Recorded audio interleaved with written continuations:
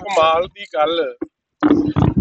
ਮੌਜੂਦਾ ਭਗਵੰਤ ਮਾਨ ਦੀ ਸਰਕਾਰ ਕਾਨੂੰਨ ਦੀ ਕਿਸ ਤਰੀਕੇ ਨਾਲ ਧੱਜੀਆਂ ਉਡਾਉਂਦੀਆਂ ਨੇ।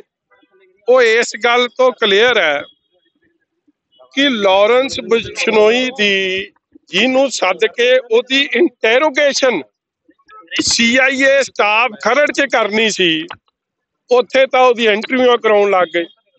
ਜਿਹਦੀ ਇੰਟਰੋਗੇਸ਼ਨ ਕਰਨੀ ਚਾਹੀਦੀ ਸੀ, ਜਿਹੜਾ ਇੱਕ ਖੁਨਖਾਰ ਅਪਰਾਧੀ ਹੈ ਜਿਨੇ ਸਿੱਧੂ ਮੂਸੇਵਾਲੇ ਨੂੰ ਮਾਰਿਆ ਜਿਨੇ ਜਿਹਦੇ ਤੇ 70 ਤੋਂ ਵੱਧ ਕੇਸ ਚੱਲਦੇ ਨੇ ਜਿਨੇ ਸਲਮਾਨ ਖਾਨ ਨੂੰ ਮਾਰਨ ਦੀ ਪ੍ਰਣ ਲਿਆ ਹੋਇਆ ਔਰ ਧਮਕੀਆਂ ਜਾਂ ਦੇ ਰਿਹਾ ਉਹਦੀ ਕਰਨੀ ਸੀ ਇੰਟਰੋਗੇਸ਼ਨ ਉਹਦੀ ਤਾਂ ਕਰ ਲਈ ਇੰਟਰਵਿਊ ਤੇ ਜਿਹਨੂੰ ਮਿਲੀ ਹੋਵੇ ਹਾਈ ਕੋਰਟ ਤੋਂ ਜ਼ਮਾਨਤ ਮੂੰਹ ਦੀ ਸਰਕਾਰ ਨੂੰ ਖਾਣੀ ਪਈ ਹੋਵੇ 3 ਸਾਲ 'ਚ ਇਹ ਚਲਾਨ ਨਾ ਪੇਸ਼ ਕਰਦੇ ਹੋਣ, ਸੁਪਰੀਮ ਕੋਰਟ ਤੋਂ ਇਹ ਭੱਜ ਕੇ ਆ ਜਾਂਦੇ ਕਿਸੇ ਨਾ ਆਨੇ ਬਹਾਨੇ ਤੇ ਜਿਹਨੂੰ ਰੈਗੂਲਰ ਜ਼ਮਾਨਤ ਮਿਲੀ ਹੋਵੇ, ਉਹਨੂੰ ਇੰਟਰੋਗੇਸ਼ਨ ਜੁਆਇਨ ਕਰਨ ਦੀ ਕੋਈ ਮੇਰੇ ਕੋਲ ਕੋਈ ਹਾਈ ਕੋਰਟ ਨੇ ਕੋਈ ਸ਼ਰਤ ਨਹੀਂ ਦਿੱਤੀ। ਇਹ ਤਾਂ ਲਾਅ ਅਬਾਈਡਿੰਗ ਸਿਟੀਜ਼ਨ ਕਿਉਂਕਿ ਮੈਂ ਕੇਜਰੀਵਾਲ ਦੇ ਵਾਂਗੂ ਥੋੜੀ ਆ ਜਿਹੜਾ ਆਉਂਦਾ ਨਹੀਂ। ਮੈਨੂੰ 11 ਵਾਰੀ ਸੱਦ ਲਿਆ ਤੁਸੀਂ ਇਟਸ ਨਾਟ ਅ ਜੋਕ ਤੁਸੀਂ ਇਹ ਗੱਲ ਸਮਝੋ। 11 ਵਾਰੀ 11 ਵਾਰੀ ਚੋਂ 7 ਵਾਰੀ ਮੈਂ ਪੇਸ਼ ਹੋ ਗਿਆ। 4 5 ਸਿੱਟਾਂ ਬਦਲ ਗਈਆਂ ਨੇ। ਸਿੱਟ ਜਿਹੜੀ ਡੀਜੀਪੀ ਲੈਵਲ ਦੀ ਸੀ, ਅੱਜ ਡਿੱਗ ਕੇ ਡੀਆਈਜੀ ਲੈਵਲ ਤੇ ਆ ਗਈ ਆ। ਮਗਰ ਧੱਜੀਆਂ ਕਿਵੇਂ ਉਡਾਉਂਦੇ ਆ? ਮਤਲਬ ਸ਼ਰਾਰਤ ਕਿਵੇਂ ਕਰਦੇ ਆ? ਇੱਕ ਵਾਰੀ ਇਹਨਾਂ ਨੇ ਤੁਹਾਨੂੰ ਯਾਦ ਹੋਣਾ, ਮੁਖਵਿੰਦਰ ਚੀਨਾ ਸਾਹਿਬ ਨੇ ਤਿੰਨ ਵਾਰੀ ਮੈਨੂੰ ਸੱਦਿਆ, ਦੋ ਵਾਰੀ ਮੈਂ ਪੇਸ਼ ਹੋਇਆ। ਉਹਨਾਂ ਦੀ ਰਿਟਾਇਰਮੈਂਟ ਵਾਲੀ ਪਾਰਟੀ ਵਾਲੇ ਦਿਨ ਵੀ ਮੈਂ ਪੇਸ਼ ਹੋਇਆ। ਇਹ ਮਤਲਬ ਮੇਰੀ ਤੁਸੀਂ ਵੇਖੋ ਕਿੰਨਾ ਮੈਂ ਲਾਅ ਅਬਾਈਡਿੰਗ ਆ ਇਸ ਕੰਮ 'ਚ। ਮਗਰ ਸ਼ਹੀਦੀ ਦਿਹਾੜੇ ਮੈਂ ਲਿਖ ਕੇ ਕਹਿ ਕੇ ਆਇਆ ਸੀਗਾ ਕਿ ਮੈਨੂੰ ਸ਼ਹੀਦੀ ਦਿਹਾੜੇ ਵਾਲੇ ਦਿਨਾਂ 'ਚ ਨਾ ਸੱਦਿਓ, ਮੈਨੂੰ ਸੱਦ ਲਿਆ। ਸ਼ਰਾਰਤ ਕੀਤੀ ਕਿਉਂਕਿ ਸ਼ੋਅ ਕਰਨਾ ਸੀ ਨਾਨ ਕੋਆਪਰੇਸ਼ਨ ਹੁਣ ਆ ਐਸਆਈਟੀ ਬਣੀ। ਇਹਨਾਂ ਨੇ ਮੈਨੂੰ ਦੋ ਵਾਰੀ ਸੱਦਿਆ, ਮੈਂ ਦੋਨੇ ਵਾਰੀ ਆਇਆ। ਤੀਜੀ ਵਾਰੀ ਇਹਨਾਂ ਦੀ ਸ਼ਰਾਰਤ ਵੇਖੋ ਕਿ ਹਾਈ ਕੋ ਮੈਨੂੰ ਆਨਰੇਬਲ ਕੋਰਟ ਨੇ ਲਾਸਟ ਓਪਰਚੁਨਿਟੀ ਦਿੱਤੀ ਸੀ ਪੇਸ਼ ਹੋਣ ਦੀ। ਹੁਣ ਉਹ ਕੇਸ ਕਿਹਦੇ ਖਿਲਾਫ ਸੀ? ਭਗਵੰਤ ਮਾਨ ਦੇ ਬੈਸਟ ਫਰੈਂਡ ਨਾਲ, ਸੰਜੇ ਸਿੰਘ ਨਾਲ। ਹੁਣ ਪਰਪਸਲੀ ਉਸੇ ਦਿਨ ਮੈਨੂੰ ਸੱਦ ਲਿਆ ਕਿ ਉੱਥੇ ਨਾ ਪਹੁੰਚੇ, ਉਹਦਾ ਕੇਸ 'ਚ ਭਲਾ ਹੋ ਜੇ। ਫਿਰ ਮੈਂ ਉਸੇ ਤਰੀਕ ਨੂੰ ਇਹ ਗੱਲ ਲਿਖੀ ਐਸਆਈਟੀ ਨੂੰ ਭੁੱਲਰ ਸਾਹਿਬ ਨੂੰ ਕਿ ਭਾਈ ਤੁਸੀਂ ਜਾ ਕੇ ਸੁਪਰੀਮ ਕੋਰਟ ਨੂੰ ਕੇਸ ਮੈਂਸ਼ਨ ਕਰਾਇਆ ਹੋਇਆ। 23 ਤਰੀਕ ਨੂੰ ਕੇਸ ਹੈ। ਹੁਣ ਮੈਨੂੰ 23 ਤੋਂ ਪਹਿਲਾਂ ਨਾ ਸੱਦਿਓ। 18 ਨੂੰ ਸੱਦਣ ਤੋਂ ਬਾਅਦ 20 ਨੂੰ ਫੇਰ ਸੱਦ ਲਿਆ। ਹੁਣ ਮੈਂ ਜਾ ਕੇ ਸੁਪਰੀਮ ਕੋਰਟ ਦੀ ਤਿਆਰੀ ਕਰਾਉਂਗਾ ਆਪਦੇ ਵਕੀਲਾਂ ਦੀ ਕਿ ਮੈਂ ਤੁਹਾਡੇ ਕੋਲ ਆਉਂ ਤੁਸੀਂ ਤਾਂ ਚਾਹੁੰਦੇ ਹੋ ਕਿ ਮੈਂ ਆਪਦਾ ਕੇਸ ਨਾਲ ਲੜਾਂ ਕਿਹੜਾ ਵੀ ਚੱਜ ਨਾਲ। ਫੇਰ ਮੈਨੂੰ ਸੱਦਿਆ 30 ਤਰੀਕ ਨੂੰ। 30 ਤਰੀਕ ਨੂੰ ਫੇਰ ਆਨਰੇਬਲ ਕੋਰਟ ਦੇ, ਚੰਡੀਗੜ੍ਹ ਦੀ ਅਦਾਲਤ ਦੇ ਹੁਕਮ ਸਨ ਕਿ ਤੁਸੀਂ ਉੱਥੇ ਹਾਜ਼ਰ ਹੋ। ਅਸੀਂ ਚੰਨੀ ਸਾਹਿਬ ਨੂੰ ਘੇਰਿਆ ਸੀ, ਉਹਦੇ 'ਚ ਚਾਰਜ ਫਰੇਮ ਹੋਣੇ ਸੀ ਸੀਐਮ ਨੂੰ ਘੇਰਨ ਦੇ। ਤੇ ਮੈਨੂੰ ਇਹ ਗੱਲ ਦੱਸੋ ਕਿ ਮੈਂ ਕੋਰਟ ਕੋਲ ਜਾਊਂਗਾ ਕਿ ਇਹਨਾਂ ਕੋਲ ਆਊਂਗਾ? ਮਗਰ ਮੈਂ ਤੁਹਾਨੂੰ ਅੱਜ ਫੇਰ ਦੱਸਾਂ, ਕੇਜਰੀਵਾਲ ਸਾਹਿਬ ਨੂੰ 9 ਵਾਰੀ ਸੱਦਿਆ 0 ਵਾਰੀ ਗਏ। ਮਜੀਠੀਏ ਨੂੰ ਪੰਜ ਸਿੱਟਾਂ ਬਦਲਤੀਆਂ 11 ਵਾਰੀ ਸੱਦਿਆ ਤੇ 7 ਵਾਰੀ ਮੈਂ ਪੇਸ਼ ਹੋ ਗਿਆ। ਜੇ ਮੈਂ 3-4 ਵਾਰੀ ਨਹੀਂ ਆਇਆ ਕੋਰਟ ਦੀਆਂ ਤਰੀਕਾਂ ਕਰਕੇ ਔਰ ਇੱਕ ਸ਼ਹੀਦੀ ਜਿਹੜੇ ਅਹ, ਸਾਹਿਬਜ਼ਾਦਿਆਂ ਦਾ ਸ਼ਹੀਦੀ ਦਿਹਾੜਾ ਸੀ ਉਹਦੇ ਕਰਕੇ ਨਹੀਂ ਆ ਮਗਰ ਅੱਜ ਹਾਲਾਤ ਵੇਖ ਲੋ ਕੀ ਹੈ। ਅੱਜ ਅਖਬਾਰ ਤੁਸੀਂ ਵੀ ਪੜ੍ਹੀ ਆ। ਇੱਕ ਸਿੱਟ ਤਾਂ ਇਹ ਸਿਆਸੀ। ਮੈਂ ਤਾਂ ਇਹਨਾਂ ਨੂੰ ਕਹਿਣਾ ਇੱਥੇ ਐਵੇਂ ਸਾਧਿਓ ਸੀਐਮ ਹਾਊਸ ਹੀ ਸੱਦ ਲਿਆ ਕਰੋ। ਭਗਵੰਤੀ ਮੇਰੇ ਜਿਹੜੇ ਚਾਰ ਸਵਾਲ ਕਰਨੇ, ਉਹ ਕਰ ਲਵੇ, ਚਾਰ ਮੈਂ ਉਹਨੂੰ ਕਰਨੇ, ਮੈਂ ਕਰ ਲੂੰ। ਮਗਰ ਹਾਲਾਤ ਕੀ ਨੇ? ਲਾਰੈਂਸ ਬਿਸ਼ਨੋਈ ਨੂੰ ਤਾਂ ਖਵਾਉਂਦੇ ਆ 버ਗਰ ਪੀਜੇ। ਲਾਰੈਂਸ ਬਿਸ਼ਨੋਈ ਨੂੰ ਸੀਆਈਏ ਰਿਮਾਂਡ ਤੇ ਲੈ ਕੇ ਗਏ ਸੀ ਥਾਣੇ ਚੋਂ, ਆਪਣਾ ਜੇਲ੍ਹ ਚੋਂ।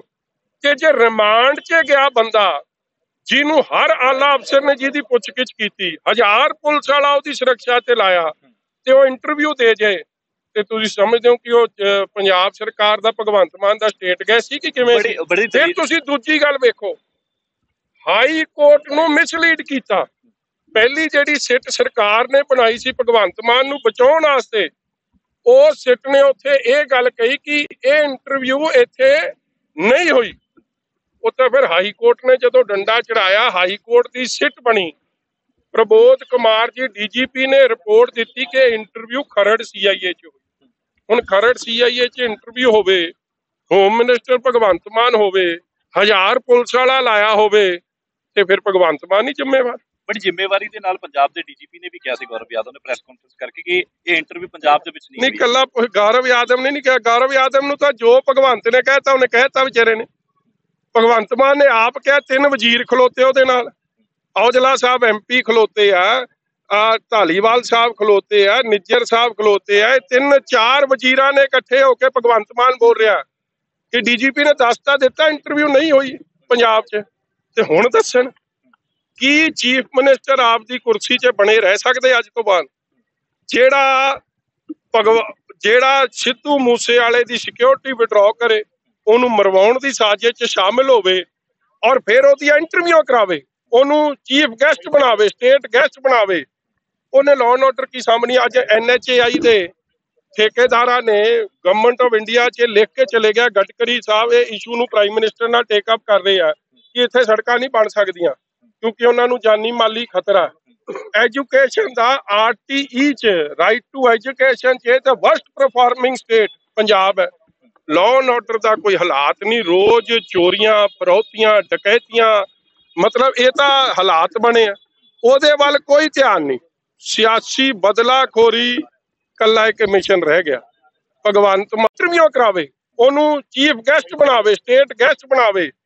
ਉਹਨੇ ਲਾਅ ਐਂਡ ਆਰਡਰ ਕੀ ਸਾਹਮਣੇ ਅੱਜ ਐਨਐਚਏਆਈ ਦੇ ਠੇਕੇਦਾਰਾਂ ਨੇ ਗਵਰਨਮੈਂਟ ਆਫ ਇੰਡੀਆ 'ਚ ਲਿਖ ਕੇ ਚਲੇ ਗਿਆ, ਗਡਕਰੀ ਸਾਹਿਬ ਇਹ ਇਸ਼ੂ ਨੂੰ ਪ੍ਰਾਈਮ ਮਿਨਿਸਟਰ ਨਾਲ ਟੇਕ ਅਪ ਕਰ ਰਹੇ ਆ ਕਿ ਇੱਥੇ ਸੜਕਾਂ ਨਹੀਂ ਬਣ ਸਕਦੀਆਂ, ਕਿਉਂਕਿ ਉਹਨਾਂ ਨੂੰ ਜਾਨੀ ਮਾਲੀ ਖਤਰਾ। ਐਜੂਕੇਸ਼ਨ ਦਾ ਆਰਟੀਈ ਚ ਰਾਈਟ ਟੂ ਐਜੂਕੇਸ਼ਨ ਚ ਤਾਂ ਵਰਸਟ ਪਰਫਾਰਮਿੰਗ ਸਟੇਟ ਪੰਜਾਬ ਹੈ। ਲਾਅ ਐਂਡ ਆਰਡਰ ਦਾ ਕੋਈ ਹਾਲਾਤ ਨਹੀਂ, ਰੋਜ਼ ਚੋਰੀਆਂ, ਫਰੌਤੀਆਂ, ਡਕੈਤੀਆਂ, ਮਤਲਬ ਇਹ ਤਾਂ ਹਾਲਾਤ ਬਣੇ ਆ। ਉਹਦੇ ਵੱਲ ਕੋਈ ਧਿਆਨ ਨਹੀਂ। ਸਿਆਸੀ ਬਦਲਾਖੋਰੀ ਕੱਲਾ ਇੱਕ ਮਿਸ਼ਨ ਰਹਿ ਗਿਆ। ਭਗਵੰਤ ਮਾਨ, ਲੰਡਾ, ਇਹ ਜੇ ਜਿੰਨੇ ਗੈਂਗਸਟਰ ਰੱਜ ਕੇ ਗੋਲੀਆਂ ਮਾਰਨ, ਫਰੌਤੀਆਂ ਲੈਣ, ਉਹਨਾਂ ਦੇ ਤਾਂ ਭਾਈ ਭਗਵੰਤ ਮਾਨ ਸਾਹਿਬ ਕਰਾਉਣਗੇ ਇੰਟਰਵਿਊ ਉੱਥੇ ਇੰਟਰੋਗੇਸ਼ਨ ਨਹੀਂ ਹੋਊ। ਤੇ ਜਿਨ੍ਹਾਂ ਦੀ ਬਣਦੀ ਨਹੀਂ ਗੈਰ ਕਾਨੂੰਨੀ ਕੰਮ ਆ, ਉਹਨੂੰ ਰੋਜ਼ ਸੱਦ ਲੈਂਦੇ ਜਿਹੜੇ ਮਾੜਾ ਜਿਹਾ ਬੋਲੇ।